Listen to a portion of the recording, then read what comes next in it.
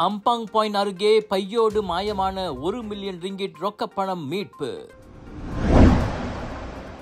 பகடிவதையை கண்காணிக்க கூடுதல் வார்டன்கள் தற்காப்பு அமைச்சு முடிவு.